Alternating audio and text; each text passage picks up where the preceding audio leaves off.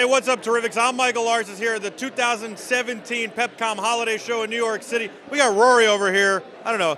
He's a Jedi, I guess, fighting the Dark Forces, right? Right. He, who's he fighting? He's fighting Darth Maul right now. Yeah. And and uh, you're Sam. You're from Yeah, Lenovo. Sam, From Lenovo, yeah. we like Lenovo. Good. I like Lenovo too. Tell me about what this is. This is pretty amazing. And, and let's get a shot of Rory while we're talking. Yeah, so this is a product we developed. He's a uh, pro, by the way. I think he actually is a he's Jedi. Using, he's using his the Force, Yeah. definitely. So what is this? Uh, this is a product we developed in partnership with Disney and Lucasfilm. Um, we're a hardware company, so we develop uh, the AR headset and the accessories that go with it. Um, and Disney has worked with us to develop this software. It's basically an application for your phone. It's a game. You download the game and you buy the headset. Right now we have an exclusive with Best Buy, or you can get the headset on Lenovo.com.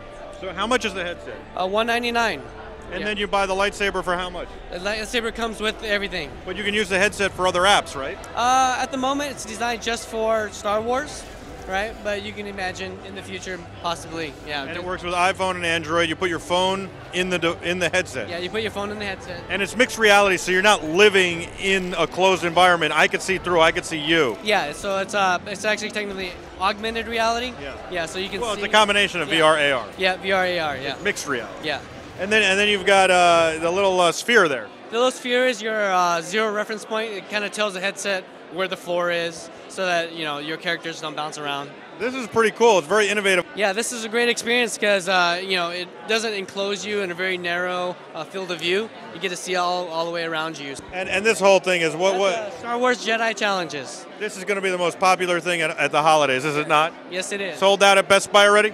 Uh, I'm not sure the stats on that, but it will Pretty be. close. It's, I mean, Last Jedi is coming up very soon, so There you go. He's Sam. I'm Michael. You're the Terrifics. We are live from January 9th to the 13th, live from CES. We're an official media partner. Check it all out. Be terrific.